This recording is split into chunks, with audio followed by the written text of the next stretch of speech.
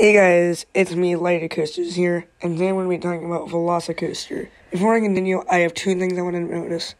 First off, I am somewhat sick, so if my voice sounds a little bit weird and scratchy, that's why.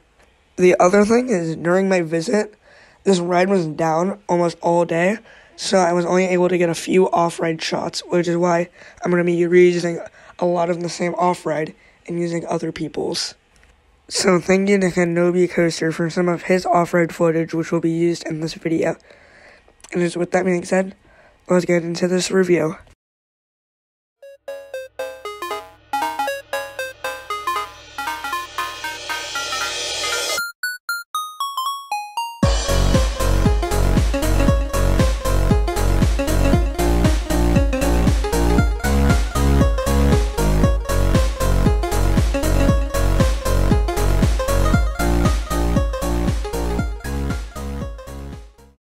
First off, I have to mention, right after my first ride, this ride instantly became my number one.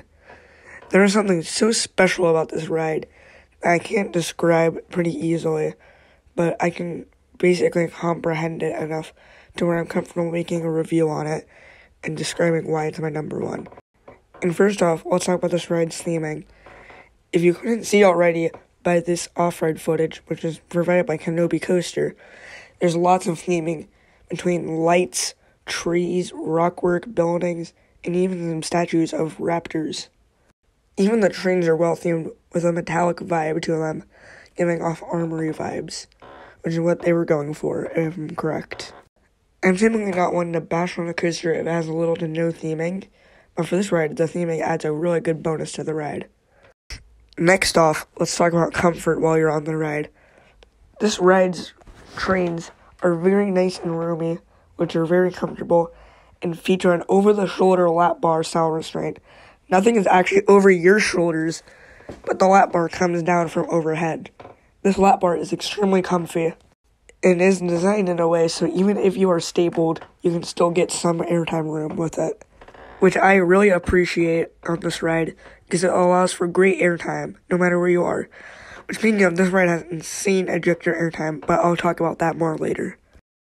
And I haven't mentioned before, this ride has amazing theming. Alongside the rockwork, there are many raptors along the track, mainly in the first half of the ride. Next off with this ride is the smoothness. There are no potholes or anything with this coaster. It is all glossy smooth.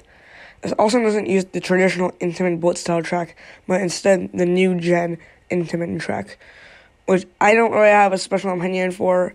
I mean, it looks nice, so I can't really say anything else. So that's all I have to say about that. And with that being said, let's get on to the layout review. This ride has an amazing layout, starting off with the launch to 0 to 50 miles per hour in only 2 seconds, which is pretty powerful. You then go through an Immelman, which is followed by a dive loop. I really enjoyed these two elements. They gave some pretty good whip. You then go through a bunch of banked turns and sharp airtime hills. Almost all of these elements, even the banked turns, can give ejector airtime, which is very, very surprising, including those moments right there. This turnaround doesn't give any, though. This one does, though, and you can pass by a Velociraptor.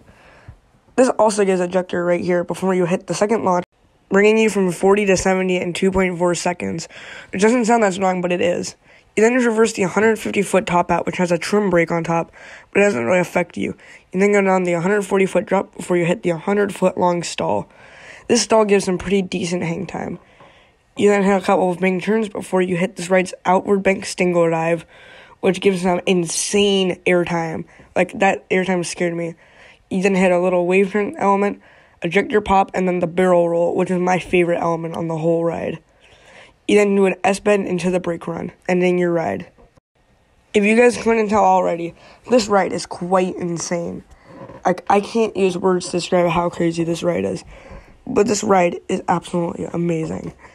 this is a ride where if you're in the Orlando area, you must go to this park to ride it because it is 100% worth your time and money to do it. This instantly became my number one roller coaster, as with many others and everyone has mutually agreed for the most part that this is the best ride in Florida. It's personally my favorite coaster because I love the theming, I love blitz coasters, I love the fast pacing, I love the sharp airtime, and I love the inversions on this ride. because the inversions on this ride are world class. Anyways, that's really it for this review of Velocicoaster. Make sure to come back next week for my top 15 roller coasters. And with that being said, I'll see you guys in the next video. I'm Lighted Coasters. Goodbye.